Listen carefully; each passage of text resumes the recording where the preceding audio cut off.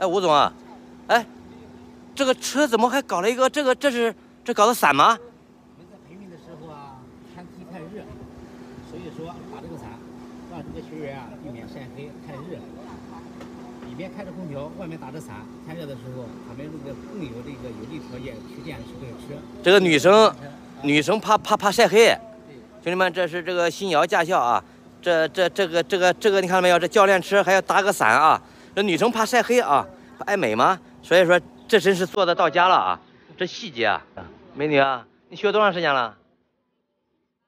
满意吧？对这学校？你看这个伞搭挺好吧？这车想的很周到吧？好好努力练啊！这边的教练比较细心，对吧？好。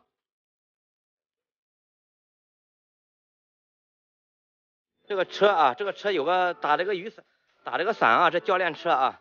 这边想的很细心啊！哎呀，师傅，这这这在擦什么了？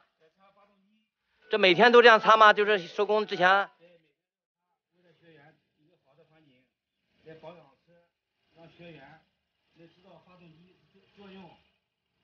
哇，你这以后的情节也是带动一下这个学员，以后养成好的习惯是吧？对对对对。哇，你们这学校不不光教学车，其他还他的将来还还要还要负责。哇！学员懂车、爱车、保养车。啊，对，主要是爱车啊。走上社会以后，最起码他们不会忘教练教的每一步。哇，那可以可以，不错不错。哎，这车里边，这车里边我看一下，哎呀，这车里面那么干净啊。对，每个教练车都是这样的。啊，你每天也是这样，你们都挺洗，哎呀，很干净啊，你看。对，啊，这车也也时间不短了，你看这个车开了七十四啊，也不短了，但是还这么跟新车一样保养的。爱车啊！哦，那可以，辛苦了，师傅啊，辛苦了，辛苦了。